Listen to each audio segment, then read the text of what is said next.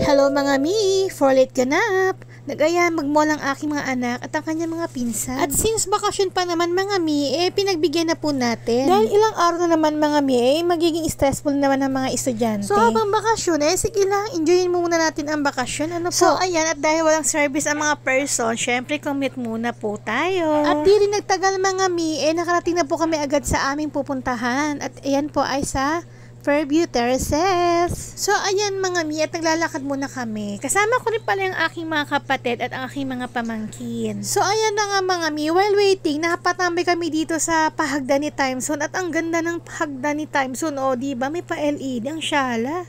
So, hindi namin maiwasan ang magpa-picture kasi nga nakakaaliw. At this moment mga mi, eh, nagdidesisyon na kami or nag-iisip na kami kung ano ang uunahin namin. Kung time zone ba or kain muna. Since late po kasi kami nag-breakfast dyan mga mi, eh, late na rin po ang naging lunch namin.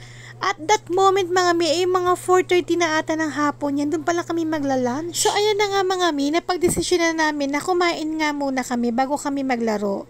Mahirap nga naman yung maglalaro eh, walang laman yung mga chan, hindi ba? Baka magkainitan lang kami ng mga ulo. So, ayan na nga mga mi, napag-desisyon na namin na kumain na nga lang muna kami dito sa Bonchon. At this moment mga mi, hinihintay na lang po namin ang aming order at yung iba ang order ay nauna na, kaya nauna na silang kumain para mabilis din kaming matapos. At ayan mga mi, habang naghihintay pa kami ng iba naming order, magpapakit muna kami for the content. Charis! Actually mga mi, eh, ang binabalik-balikan talaga namin dito mga mi, yung japchae nila, talagang masarap. Well recommended ko ang japchae nila. Kung mahilig mo kayo sa japchae, eh, masarap po dito sa Bonchon. At ayan mga mi, ang order namin. Ang order nga pala namin dito para sa aking anak, eh yung 2 pieces chicken, pero naging 3 pieces siya kasi maliit po yung isang part, kaya ginawa nilang 3. Tapos meron na siyang bulgogi soup na kasama.